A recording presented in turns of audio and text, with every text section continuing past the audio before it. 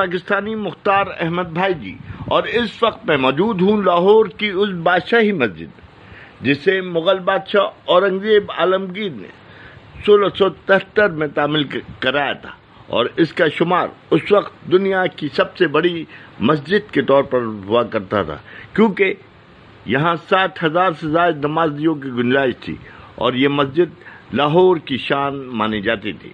लेकिन जब महाराजा रणजीत सिंह ने तख्त लाहौर पर कब्जा किया तो उसने मस्जिद को अस्तबल में तब्दील कर दिया और यहाँ बने हुए हुजरों में अपनी फौज को उतार दिया, जिन्होंने यहाँ रिहाइश अख्तियार कर ली।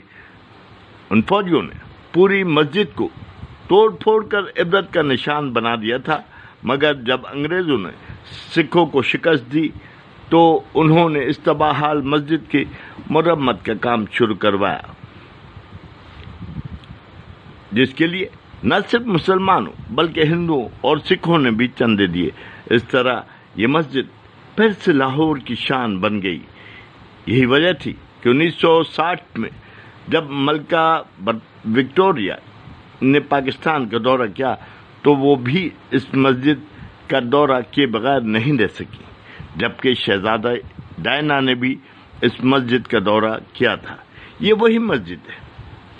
जब 1974 में होने वाली इस्लामी सरबराही कॉन्फ्रेंस में उनतालीस ममालिक के सरबराहान ने शाह फैसल शहीद की इमामत में नमाज़ जुम्मा अदा की थी।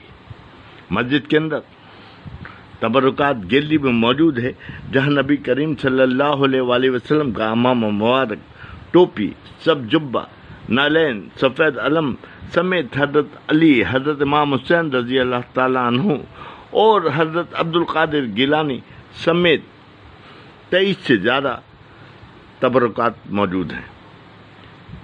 ये तबरुकात इससे भी ज़्यादा थे, मगर जब महकमा अवकाफ ने 2004 में, मलेशिया में इन तबरुकात को नुमाइश के लिए भेजा तो बेशतर चोरी हो गए जिनके बारे में आज तक पता नहीं चलाया जा सका।